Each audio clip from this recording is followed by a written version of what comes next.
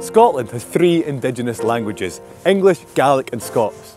Now we all ken what English and Gaelic are, but what is Scots? Well for centuries it was the language of kings, of makars, of court and council documents. It was the national language of Scotland until we won the estate anymore. It was jettisoned by the upper classes after the Acts of Union, but aye been used just by normal Scots folk to blether together, fae Hawick to Thurso, fae Brechin to Unst.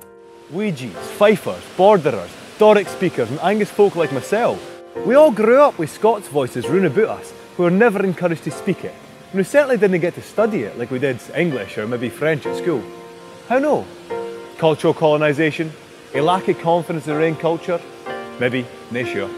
The Council of Europe, the UK and the Scottish Government all accept that Scots is a minority language that needs protected.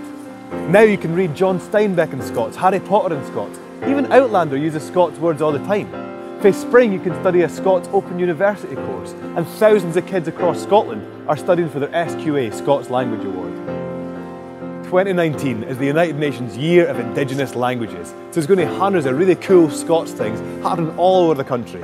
It's a great time for us to re-engage with our Scots voices. It's a great time to start taking tent of Scots.